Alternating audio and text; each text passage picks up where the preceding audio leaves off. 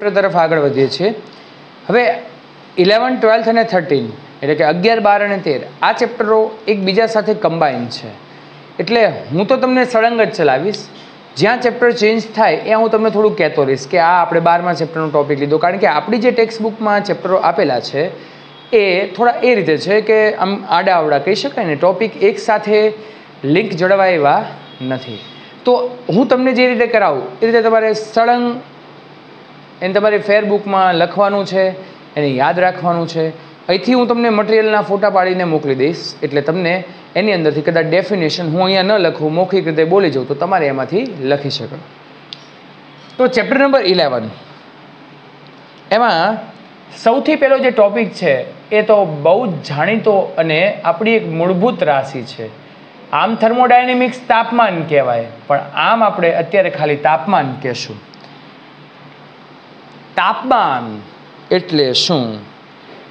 તમે બધા વિચારતા હશો કે સર, આ તાપમાન એટલે તાપમાન કહેવાય, અને બીજું તો શું કહેવાય? હે? બીજું તમે શું કહો? પણ તાપમાન જે છે, એને અત્યારે હું તમને એમ કહું, આપણે અત્યારે થર્મોમીટરનો ઉપયોગ થાય છે તાપમાન માપવા માટે. પણ એની ડેફિનેશન આપો મને, હાલો. તમે એમ કહો કે જે સાધનનો ઉપયોગ તાપમાન માપવા માટે થાય છે એને આપણે ટેમ્પરેચર કહીએ, એવું કહી શકાય.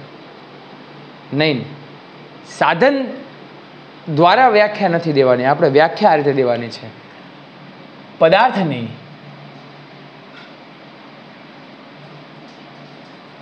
ઠંડાપણા અને ગરમપણાના ખ્યાલને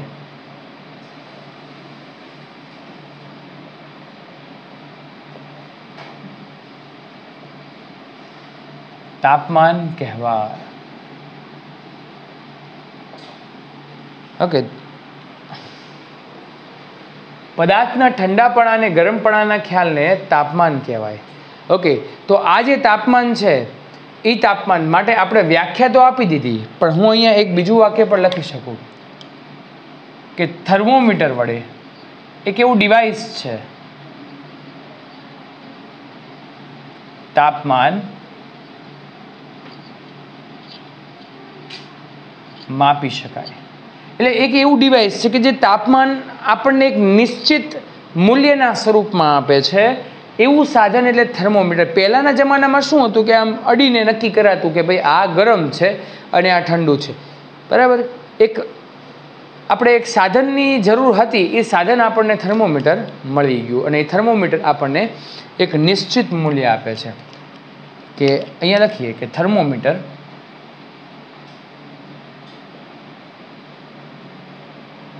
તાપમાનનું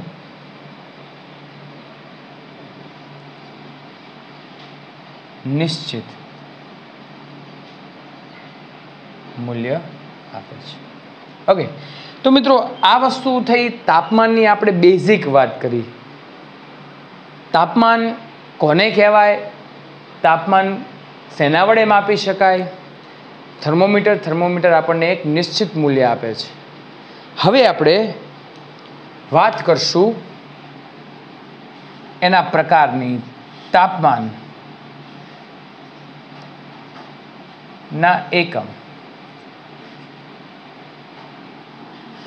કેલ્વિન સેલ્સિયસ અને ફેરનહીટ છે. કેલ્વિનને કે વડે દર્શાવીએ? સેલ્સિયસને ડિગ્રી સેલ્સિયસ વડે, ફેરનહીટને એફ વડે. આ બધા વચ્ચેનો સંબંધ મિત્રો આપણને ખ્યાલ છે, બધાને આવડે છે અને બહુ સાદો ને સિમ્પલ જે સંબંધ છે, એ કંઈક આ રીતે છે. કે આપણે એવું કહી શકીએ કે કેલ્વિન છે, એ સેલ્સિયસના માપક્રમમાં બસો તોતેર પોઈન્ટ પંદર તમે ઉમેરો એટલે તમને કેલ્વિનની કિંમત મળે. તમને એમ થાય કે સર, આ તો તમે કેમ આ પંદર પોઈન્ટ પંદર વધારી દીધા? પણ સાચું મૂલ્ય બસો તોતેર પોઈન્ટ પંદર છે. બસો તોતેર પોઈન્ટ પંદર તમે સેલ્સિયસના માપક્રમમાં ઉમેરો એટલે કેલ્વિન મૂલ્ય મળે. જેમ કે સત્યાવીસ ડિગ્રી સેલ્સિયસ આપેલું હોય, એની અંદર તમે બસો તોતેર પોઈન્ટ પંદર ઉમેરશો એટલે ત્રણસો પોઈન્ટ પંદર મળે. આ કેલ્વિન મૂલ્ય થઈ ગયું. પણ ક્યારેક ક્યારેક આપણે છે ને પોઈન્ટ પંદરને ધ્યાનમાં રાખતા નથી. બસો તોતેર ઉમેરીએ છીએ. એટલે આપણે અત્યારે લખવું હોય તો આમ લખવાનું. ઓકે પછી સેલ્સિયસ મેળવવું હોય તો કેલ્વિનમાંથી બસો તોતેર બાદ કરવાના. પણ જો ફેરનિટની વાત કરીએ તો ફેરનિટ માટે આપણે આમ લખી શકીએ નાઇન બાય ફાઇવ સેલ્સિયસ મૂલ્ય પ્લસ થર્ટી ટુ ડિગ્રી. આવડે બધાને. આ એકબીજા સાથે તાપમાનના સંબંધો છે. બીજી મહત્વની વાત મારે એ કરવી છે મિત્રો, કે જો તાપમાનનો તફાવત લેવામાં આવે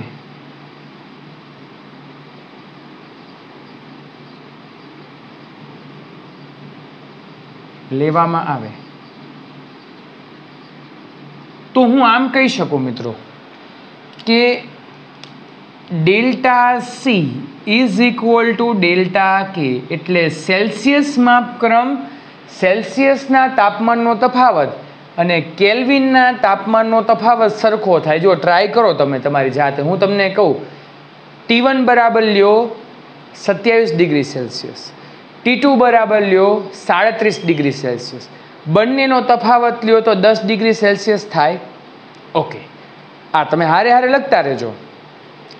હવે આ જ મૂલ્યને કેલ્વિનમાં ફેરવો. સત્યાવીસ ડિગ્રી સેલ્સિયસ પ્લસ બસો તોતેર એટલે ત્રણસો કેલ્વિન. સાડત્રીસ પ્લસ બસો તોતેર એટલે ત્રણસો દસ કેલ્વિન. લ્યો બંનેનો તફાવત. ત્રણસો દસ માઇનસ ત્રણસો. એટલે શું થશે દસ? તો આવી ગયું. Delta C is equal to delta K. એટલે ક્યારેય પણ તાપમાનનો તફાવત લેવામાં આવે ને તો તમારે ચિંતા કરવાની જરૂર જ નથી. કેલ્વિન અને સેલ્સિયસ માટે સરખું થશે. ઓકે પણ જો હવે ફેરનિટની વાત કરી હોય મિત્રો, તો delta F is equal to nine by five C. Sorry delta sorry delta F. અહીંયા ડેલ્ટા સી આવશે. ઓકે આની કેલ્ક્યુલેશન છે, પણ આપણે એ કંઈ ધ્યાન રાખવાની જરૂર નથી. આપણે સીધું યાદ રાખી લઈશું. પ્લસ થર્ટી ટુ અહીંયા આવશે નહીં. તાપમાનના તફાવત ફેરનહીટમાં નાઇન બાય ફાઇવ ઇન્ટુ શું લખવામાં આવે છે? Delta C. અથવા nine by five delta K પણ લખી શકાય, કારણ કે delta C is equal to delta K છે. હવે મિત્રો, આપણે એવું કામ કરવાનું છે કે જે એક શોર્ટકટ ઇક્વેશન છે શરૂઆતમાં આમ દેખાશે તમને થોડું થોડું અઘરું દેખાશે. પણ અઘરું તો બિલકુલ નથી. આમ લખાય, જો આ બધાને તાપવાનો સંબંધ છે ને, હું એક આ રીતે લખું છું.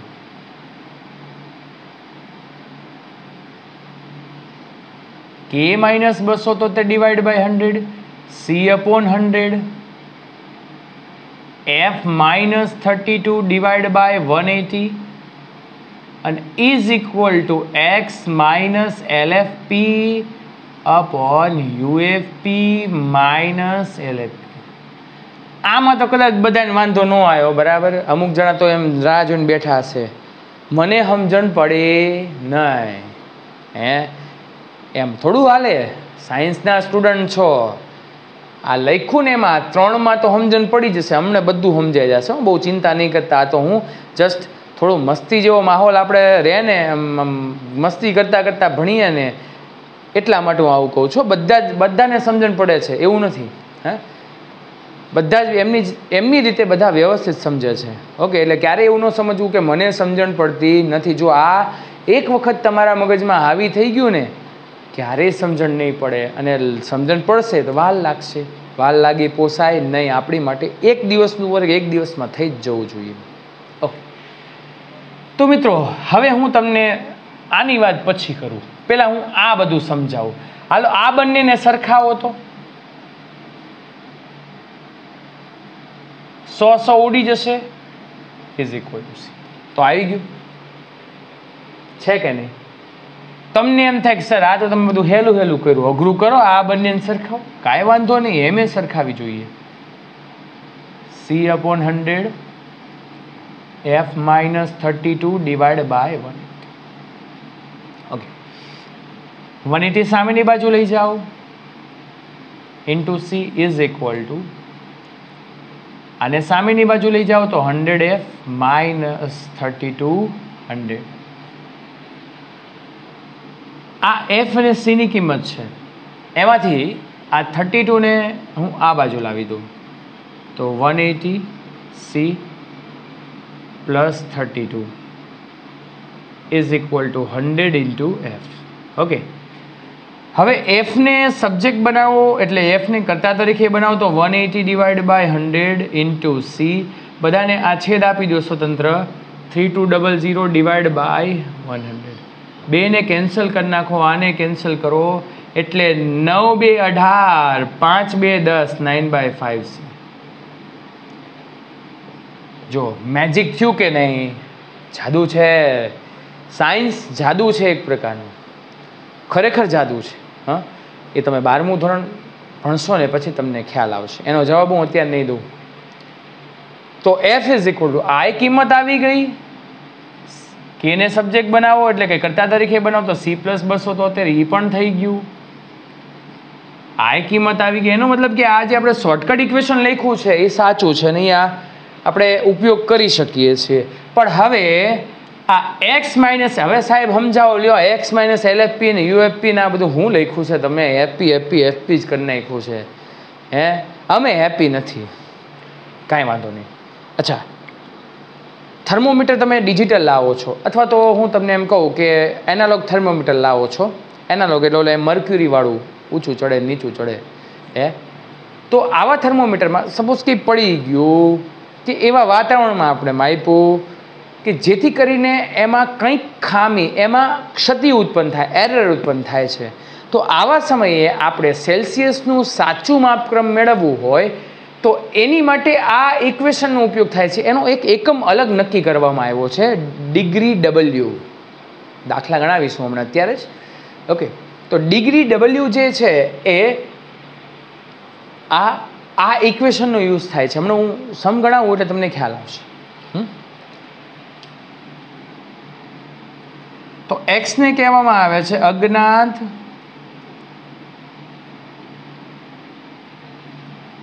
તાપમાનનું મૂલ્ય.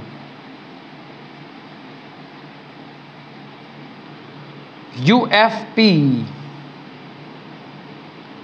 તો આને કહેવામાં આવે છે અપર ફિક્સ્ડ પોઈન્ટ અત્યારે મારી સાથે સાથે યાદ રાખજો.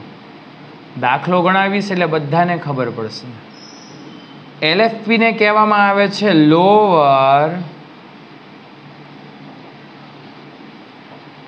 ફિક્સ્ડ પોઈન્ટ ઓકે એને શું કહેશું? લોઅર ફિક્સ્ડ પોઈન્ટ ચલો, હવે હું તમને આના દાખલા ગણાવું. હા? મટીરિયલ પહોંચી ગયું છે બધા પાસે? તો એમાંથી તમારે જોઈ શકશો તમે. અત્યારે હું રકમ વાંચીશ, એટલે એમાં ધ્યાન આપવું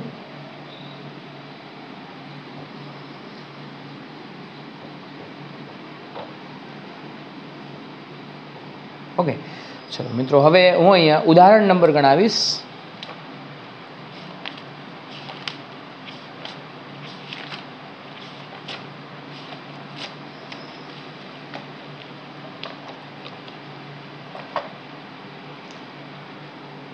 ઉદાહરણ નંબર આપણે જોઈએ છીએ ત્રણ.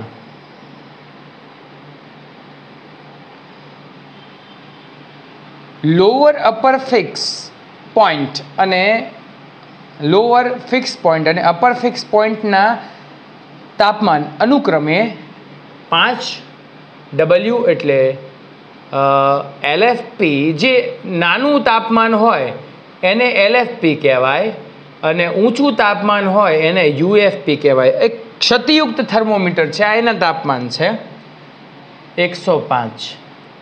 હવે એવું કીધું છે કે થર્મોમીટર આપણને જે તાપમાન માપીને આપે છે ધીસ ઇઝ ધ એક્સ એને અજ્ઞાત તાપમાનનું મૂલ્ય કહેવાય, અને એક્સ બરાબર પચીસ ડબલ્યુ આપેલું છે.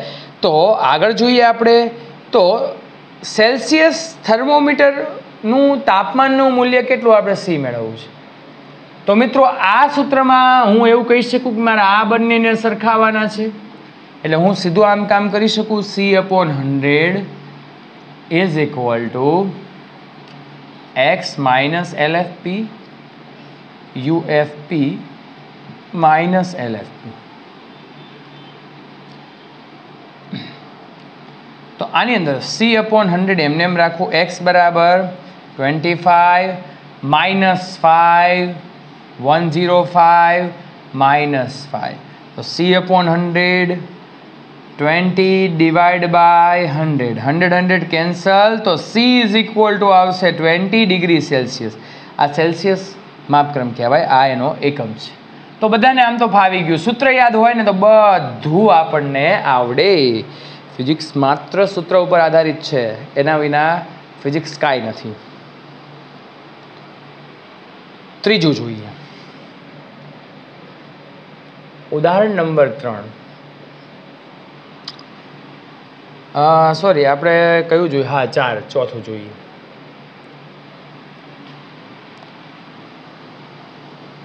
અચ્છા, થર્મોમીટર છે, એમાં આઈસ પોઈન્ટ આપેલો છે. આઈસ પોઈન્ટ એટલે એનું ગલનબિંદુ ગલનબિંદુ આપણને આપ્યું છે એ એ, જો, ઓછું ટેમ્પરેચર હોય, નાનું મૂલ્ય હોય, એને એલએફપી કહી દઈએ. જે માઇનસ ટ્વેન્ટી ડિગ્રી છે. અને UFP is equal to one eighty degree છે. ઓકે હવે એવું કે છે આપણને કે જો થર્મોમીટર આટલું ટેમ્પરેચર દેખાડે, જેને એક્સ કહેવાય ફાઇવ ડિગ્રી તો સેન્ટીગ્રેડ એટલે કે સેલ્સિયસમાં એનું તાપમાન કેટલું? તો કેટલું સહેલું? થઈ શકે C upon hundred is equal to X minus L F P upon UFP minus L F P મૂકી દો બધી કિંમત. C upon hundred is equal to five minus minus twenty અને one eighty minus minus twenty એટલે અહીંયા થશે five plus minus minus plus એટલે twenty five year two hundred hmm?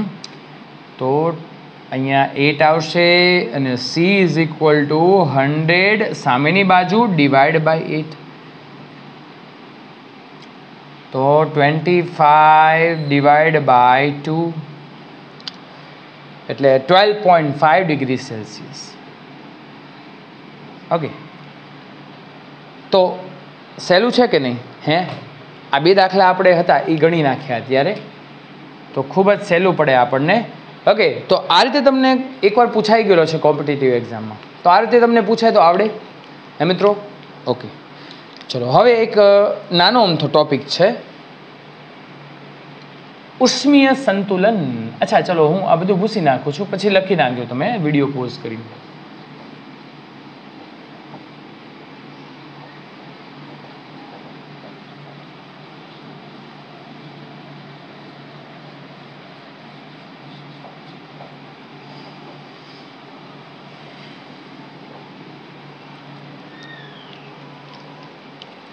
ઉષ્મીય સંતુલન કોને કહેવામાં આવે? સંતુલન એટલે શું? સંતુલન એટલે એવી વસ્તુ કે જેમાં ઉષ્મા સરખી થઈ જાય. એક એક્ઝામ્પલ તમારી સામે લઉં. સરસ મજાનું એક્ઝામ્પલ છે. ધ્યાન રાખજો અહીં. બે પદાર્થ છે. એને એકબીજા સાથે સંપર્કમાં લાવવામાં આવે છે. ઓકે પહેલું અને બીજું. આનું તાપમાન ટી વન છે, બીજાનું તાપમાન શું છે? ટી ટુ અને હું એમ કહું કે T one greater than T છે. જો પહેલી વસ્તુ તો એ કે ઉષ્મા એક પદાર્થમાંથી બીજા પદાર્થમાં જાય મિત્રો, એની માટે સૌથી પહેલાં તાપમાનનો તફાવત હોવો જરૂરી છે. ઓકે, બીજી વસ્તુ, હવે તો મને એમ કહો કે આ ઉષ્મા ઉર્જાનું વહન ક્યાંથી ક્યાં થાય? તો બધા કહેશે કે સર, ઊંચા તાપમાનવાળા ભાગથી નીચા તાપમાનવાળા ભાગ તરફ ઉષ્માનું વહન કયો કે ઉષ્માનો વિનિમય થાય છે? બીજો પ્રશ્ન એમ આવે કે શું ઉષ્માનો વિનિમય શરૂ જ રહે નહીં. ઉષ્માનો વિનિમય એટલે કે જ્યારે T one is equal to T two થાય, ત્યારે બંનેના ટેમ્પરેચર સરખા થઈ ગયા હોય અને ત્યારે ઉષ્માનો વિનિમય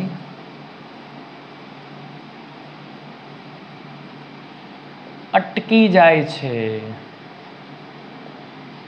ત્યારે ઉષ્માનો વિનિમય અટકી જાય મિત્રો, હે? ઉષ્માનો વિનિમય એટલો બધો, એટલે થતો જ નથી, એવું સમજી લ્યો. હે? બહુ સિમ્પલ પરિસ્થિતિ છે. આમાં અને આ પરિસ્થિતિને લ્યો.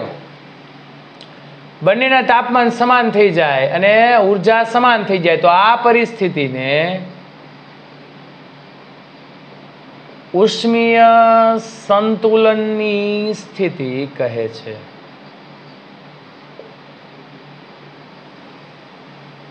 લ્યો મિત્રો, આમાં કાંઈ અઘરું રહ્યું. સંતુલન એટલે સરખું થવું, સમાન થવું. હવે સમાન શું થયું? બંનેના તાપમાન ને ઊર્જા સમાન થઈ ગઈ. હે? સામેની તરફ ઊર્જા ક્યારે જાય? હું એમ કહું કે એક ડોલમાંથી બીજી ડોલમાં પાણી સપોઝ કે હું એમ કહું કે એક ડોલની અંદર હું પાઇપ નાખી દઉં બીજી ડોલમાં પાઇપ ખાલી ડોલમાં મૂકી દઉં, ક્યાં સુધી ભરાય?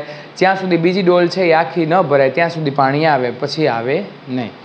એમ અહીંયા પણ ઉર્જાનું વહન, ઉષ્માનો વિનિમય એ ત્યાં સુધી જ થાય. જ્યાં સુધી બંનેના તાપમાન સરખા ન થાય, ત્યાં સુધી. જેવા થઈ ગયા, એવું જ ઉષ્માનો વિનિમય અટકી જાય. એના ઉપરથી સૌથી મહત્વનો અને ઇમ્પોર્ટન્ટ શૂન્ય ક્રમનો નિયમ.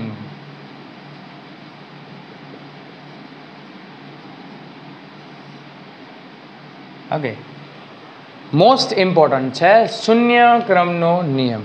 શૂન્ય ક્રમનો નિયમ સૌથી મહત્વનું તાપમાન નામની અગત્યની ભૌતિક રાશિનો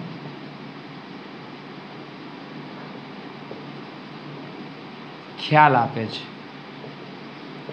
તાપમાન નામની અગત્યની ભૌતિક રાશિનો આપણને ખ્યાલ આપે છે. તાપમાનનો ઉદ્ભવ જ આ નિયમની મદદથી થયો છે. હાલો, અહીંયા એક આકૃતિ દોરું છું. ત્રણ પદાર્થ લેવામાં આવે છે. આપણે બે પદાર્થ દ્વારા સમજ્યા છે ઉષ્માનો વિનિમય. હવે ત્રણ પદાર્થની વાત કરીએ. જો આ બંને વચ્ચે કંઈક દિવાલ છે, આ સુવાહક દિવાલ હોય તો ઉષ્માનો વિનિમય થાય અને અવાહક દિવાલ હોય તો ઉષ્માનો વિનિમય થાય નહીં. કારણ કે એની અંદરથી ઉષ્મા પાસ જ ન થઈ શકે. આપણે મોટાભાગની દિવાલ છે ને એ અવાહક હોય. એટલે બહારથી વધુ ઠંડી અંદર એ ન લાગે કે બહારથી વધુ ગરમી અંદર એ ન લાગે. એવી દિવાલની વ્યવસ્થા કરવામાં આવી છે. અહીંયા ત્રીજો પદાર્થ તરીકે આપણે થર્મોમીટર પણ લઈ શકીએ. આ થર્મોમીટર પણ કહી શકાય. ઓકે. અને બીજા બે પદાર્થ. અચ્છા, ખરેખર આમ છે ને એવું કહેવામાં આવે છે કે એ અને બીની સંતુલન સ્થિતિનો આપણે અભ્યાસ કરવો હોય તો એક ત્રીજા પદાર્થની મદદ લેવામાં આવે છે. એટલે આપણે આ ત્રણ પદાર્થો લીધેલા છે. પહેલાં આ બંને વચ્ચેની દિવાલ. અચ્છા. આ દિવાલને પહેલાં હું રાખી દઉં છું સુવાહક. અને આની દિવાલને રાખું છું અવાહક. હવે અવાહક હોય તો આ બંને વચ્ચે ઉષ્માનો વિનિમય થાય. ન થાય. તો ઉષ્માનો વિનિમય ક્યાંથી ક્યાં થાય? તો એ થી સી અથવા સી થી એ બી થી સી અથવા સી થી બી વોટ એવર જે કાંઈ પણ, જેનું તાપમાન વધારે હશે, અહીંયાથી ઉષ્માનો વહન નીચા તાપમાન તરફ થાય. પણ ક્યાં સુધી થાય, ક્યારેક તો અટકી જાય કે નહીં, તો હું કહી શકું કે T C is equal to TB થાય અને T C is equal to T A થાય, ત્યારે ઉષ્માનો વિનિમય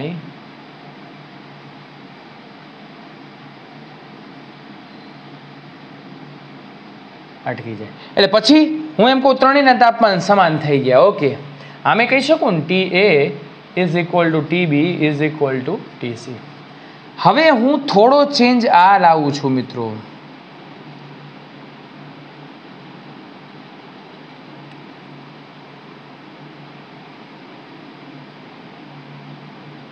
આ દિવાલને હું અવાહક કરી દઉં.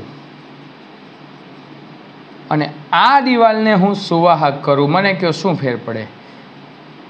આવું દર વખતે મને જાણવા મળે છે. દરેક લોકો એમ કે એ થી બી તરફ બી થી એ તરફ ઉષ્માનો વિનિમય થાય. પણ અલ્યા જો તો ખરી. એ અને બીના તાપમાન ઓલરેડી સરખા થઈ ગયા છે. પછી તમે દિવાલને સુવાહક કરશો કે અવાહક કરશો? કોઈ ફેર પડે નહીં. કારણ કે ઓલરેડી ઉષ્મીય સંતુલનની સ્થિતિમાં આવી ગયા છે આ બંને. તો આપણે અહીંયા શૂન્યક્રમનો નિયમ આ રીતે લખી શકીએ. જો એ અને બી એ સી સાથે ઉષ્મીય સંતુલનની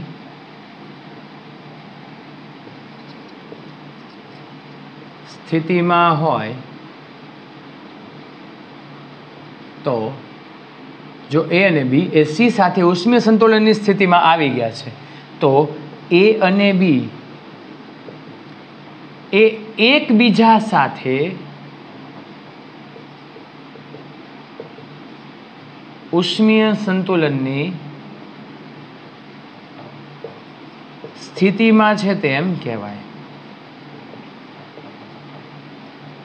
જેને શૂન્ય ક્રમનો નિયમ કહે છે. થર્મોડાયનેમિક્સના શૂન્ય ક્રમનો નિયમ કહે છે. આપણે બધાને? જો પહેલી પરિસ્થિતિનું યસ અવલોકન આ કરે છે. એ અને બી સી સાથે ઉષ્મી સંતુલનમાં આવી જાય. પછી એ અને બી એકબીજા સાથે ઉષ્મી સંતુલનમાં ક્યારે કહીએ? જ્યારે આ બંને વચ્ચે સુવાહક દિવાલ લેવામાં આવે ત્યારે. તો મિત્રો, આટલે સુધી રાખીએ છીએ. નેક્સ્ટ ટાઈમ આપણે આગળ વધશું. Take care thank you very much